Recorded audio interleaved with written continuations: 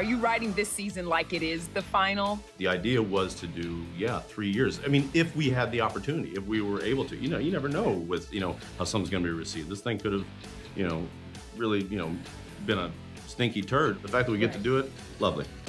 And season three won't disappoint. Ted versus Wonder Kid Nate, Rebecca versus her ex husband Rupert, plus AFC Richmond versus West Ham. The 12 new episodes premiering March 15th on Apple TV Plus are packed with face offs, football, and of course, everyone is also obsessed with both Ted and Rebecca's love lives. What about Ted and Rebecca? You know the fans want it. There's always the could it. Sure. But there's always the could it all over the place. The Rebecca and Keeley love affair is real. That's we know right. that. Yes. Yeah. We know that. The possibility of a spin-off with the two of them, could it happen?